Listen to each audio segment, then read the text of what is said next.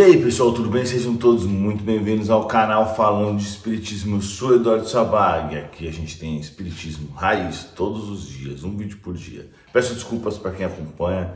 Ontem eu não consegui postar, ontem, anteontem, porque eu fiz bastante atendimento fisicamente falando, né? Quer dizer, espiritualmente e fisicamente, né? E eu fiquei sem energia, e aí é ruim porque quando você está sem energia, você não consegue raciocinar direito, então não dá para fazer vídeo, o vídeo vai ficar ruim. Eu até gravei, pra falar a verdade, gravei um vídeo mas não gostei porque não ficou legal, aí eu deletei. Então vamos ao vídeo de hoje. Vou responder uma pergunta que vocês fizeram nos comentários. Então lembre-se sempre de colocar a sua pergunta. Se ela não foi respondida, coloque novamente. Se você gostar de alguma pergunta, vai lá e deixa o like na pergunta para que ela fique em cima. Não para que fique em cima seja mais fácil de ver, mas para perceber que muita gente gosta da mesma dúvida, né? Eu vou falar sobre a pergunta de hoje, né? Para onde os espíritos vão quando eles são atendidos, obsessores? Bom, vamos dizer primeiro uma coisa.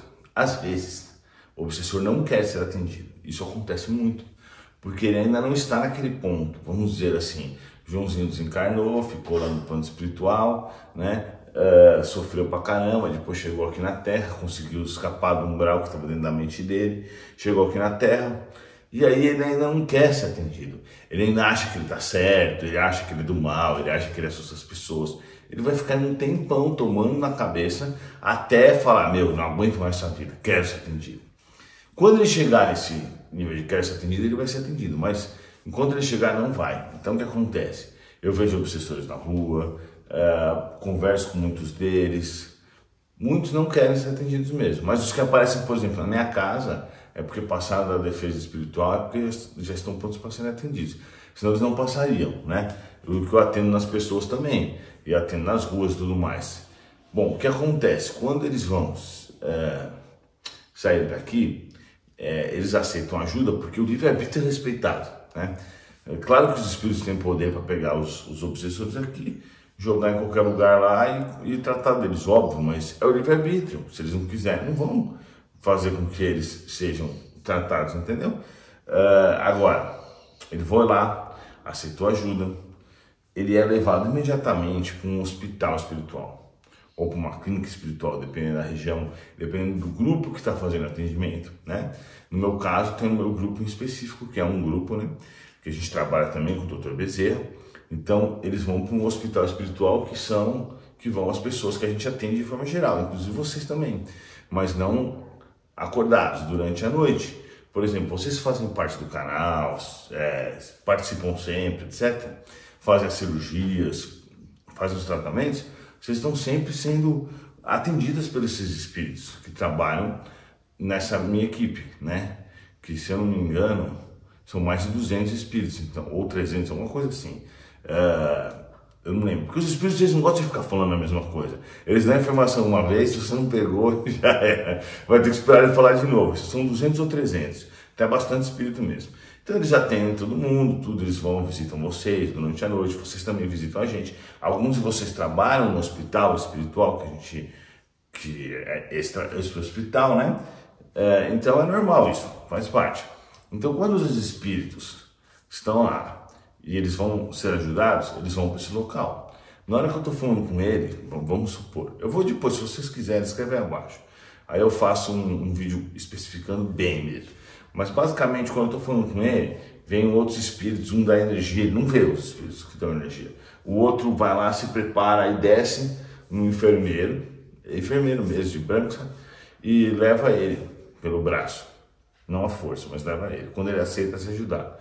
Ele chega lá em cima, Aí eles vão, uh, por exemplo, vamos supor, as dores que esse cara estava sentindo, que esse obsessor estava sentindo, estão contínuas com ele. Por quê? Como ele não mudou a vibração, vamos dizer, ele morreu com um tiro, ou ele morreu com ataque do coração, ou ele morreu com cirrose, não interessa, qualquer coisa que ele morreu que tenha danificado o organismo espiritual dele, certo? Ele passa para o outro lado, fica doendo nele. Então vamos supor que o cara tomou uma facada. Aquela facada não para de doer nele, até ele receber o tratamento necessário. E no umbral, nem nas trevas, nem nesses lugares que eles vão zoar as pessoas, nem aqui mesmo ele vai receber esse tratamento. Ele só vai receber esse tratamento num hospital como esse. Aí chega num hospital como esse, ele sobe lá, os caras são super educados com ele. Eu sempre falo para eles, né? Você vai ser educado com meus amigos lá em cima, hein? Entendeu? Eu sou um cara meio, meio bravo, mas, mas precisa de disciplina. Então eu já dou uma, falo, ó, oh, você vai subir, você vai ser educado com os caras lá em cima, hein? Aí, por quê? Chegar lá em cima tem cara que, apesar de receber ajuda, como eles são orgulhosos, eles xingam, eles não querem, entendeu? Eles não querem, vamos dizer assim, parecer que estão recebendo ajuda. Então eu sempre falo isso. Chega lá, uh, eles estão com uma dor, vamos dizer, igual esse caso que eu estava contando. Tomou uma facada no estômago, tá? o estômago dele fica aberto até às vezes. Apesar de não ter corpo material, é, é a nossa mente, é nosso corpo também, né? Isso é uma coisa mais complexa que a gente pode falar em outro vídeo. Aí chegou lá, eles falam, olá, tudo bem, seja bem-vindo tal. Aí eles recebem um tratamento, lembram do filme do André Luiz? Que o cara vai lá e aplica um passe e ah, o que aconteceu no filme é exatamente o que acontece na vida espiritual. O André Luiz estava todo detonado do estômago, foi lá pro o umbral, ficou oito anos no umbral, depois ele foi atendido, depois ele foi para o hospital espiritual. Quando ele chegou no hospital espiritual, é, ele estava todo arrebentado da barriga. Aí o espírito que estava atendendo ele foi lá, aplicou um tratamento, a hora que ele aplicou um tratamento, que aconteceu? Pum, revitalizou total, ele ficou zerado. Então isso acontece, entendeu? No tempo que eles estão lá, naquele período, recebendo aquele, uh, na zoeira, ou então passando pelos problemas que eles deveriam passar no umbral, eles vão ficar com aquele problema, mas depois eles que eles são resgatados, eles são auxiliados. E junto com isso tudo, eles vão assistir palestra, entendeu? Quando eu faço o evangelho, é, no meu caso, né, eles gravam, os espíritos gravam, eles assistem lá em cima também. Às vezes eles vêm assistir o evangelho, é, tem vários livros para eles lerem. Então não só eles vão receber esse atendimento, eles vão receber um monte de energia boa, um monte de é, um monte de instrução, instrução correta. Então isso vai fazer com que eles vão, vão com que aquele espírito vá melhorando, né? Aí quando o espírito já recebeu a cura, acontece normalmente duas coisas. Ou ele segue o caminho, qual que vai ser o caminho correto? Não antes eu vou falar do caminho não correto. Ele pode desistir, porque ele fica pensando, pô, agora eu já estou bom, eu vou sair daqui e vou voltar para minha vida que eu tinha, não sinto mais dor. E quando ele sai de lá e volta para o plano é, material, quer dizer, na verdade não é plano material, plano espiritual, aqui na Terra, e vem aqui bagunçar os outros, obsediar, fumar, beber, né, fazer sexo, ou só bagunçar, porque tem muitos espíritos zombeteiros que gostam de dar risada na cara dos outros. Quando ele faz isso, o que acontece? O estômago dele vai voltando igual estava antes. E aí ele vai sentindo dor novamente é, pode ser que ele peça ajuda novamente. Entendeu? Então, tem caras que passam várias vezes e os espíritos não seguram lá, porque é livre-arbítrio. Se o cara quiser fugir, ele foge. Aí depois, às vezes o espírito volta aqui e ainda me xinga porque ele fala assim: é, vocês não deveriam deixar as pessoas fugirem de lá. Deveria ser mais difícil. Vocês entenderam? Ele mesmo fugiu, tonto. O que, que eu posso fazer? O cara tava lá sendo tratado, ele fugiu, voltou para a vida ruim, ficou zoado de novo, veio para receber ajuda de novo. E reclama que a gente deixou ele fugir, só que o livre-arbítrio tem que ser respeitado.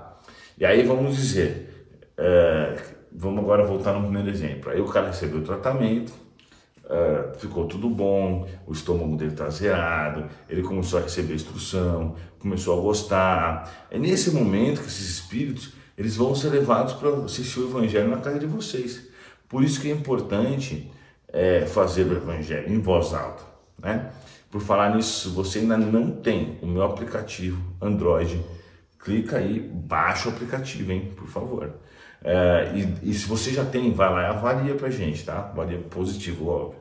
Para que outras pessoas possam ver também. Então, tudo bem, é importante pra caramba a gente fazer evangelho em voz alta por conta disso. Além da questão energética, esses espíritos vão aprender. Entendeu? Então, tudo bem.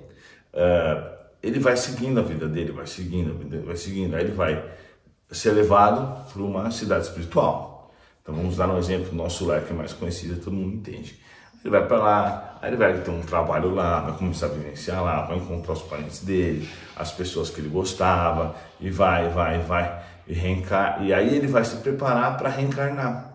Aí ele vai reencarnar novamente. Aí se ele for um espírito que não está muito elevado, ele vai reencarnar, vai falhar, vai voltar, vai acontecer tudo a mesma coisa. Mas a gente tem que lembrar assim, os exemplos que nós temos, por exemplo, no Violetas de Janela, a Patrícia, ela foi para um Umbral, uma encarnação antes dela. Antes dessa última que ela fez um sucesso. Ela, foi, ela obsediou uma pessoa. André Luiz foi Umbral também. Então vamos dizer assim, é, é, é uma fase. Né? Eu fui muitas vezes para o Umbral, não quero me comparar a espírito nenhum, mas eu já fui muitas vezes para o Umbral e lembro, na verdade, e fui perseguido várias vezes, porque eu sempre fui meio violento assim nas minhas encarnações, antes, né?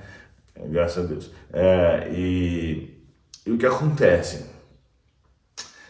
É um pouco normal isso, entendeu? Dificilmente você vai achar uma pessoa. Até hoje eu não vi ninguém que não, não tivesse esse histórico de ir para um brau. De, das pessoas que eu analisei as encarnações, sei lá, umas 500, todas foram para um brau. Então, provável que você já tenha feito isso também. Muito provável, na verdade quase impossível de não ter feito esse caminho. É, mas é um caminho que faz um pouco parte da evolução do homem, entendeu? Do homem, digo homem mulher, do, do espírito. Ele faz parte, entendeu? Mas o, o, quanto mais rápido a gente conseguir sair desse ciclo, melhor para a nossa evolução. Se você gostou, deixa o like, compartilhe o vídeo que é muito importante, manda para seus amigos, deixe seu comentário abaixo, sugira novas perguntas. Que assim seja, que Jesus abençoe a todos nós. E até a próxima.